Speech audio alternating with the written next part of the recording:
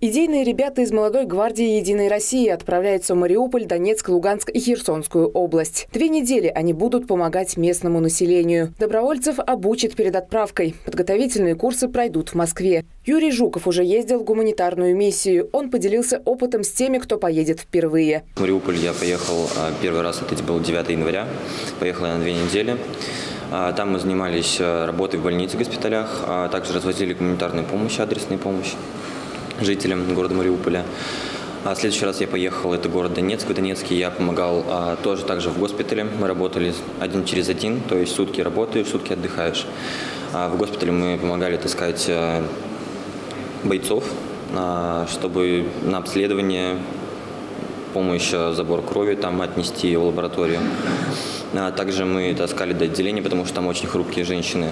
А, и помощь там действительно нужна. От Ульяновска поедут двое парней. Это Айдар Арасланов и Сергей Зюзин. Решил туда поехать так из альтруистических побуждений.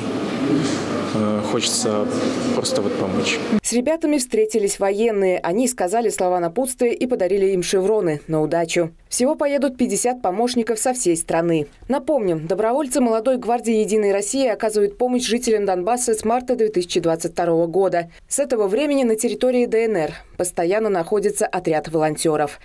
Виктория Черкова, Герман Баранов. Улправда ТВ.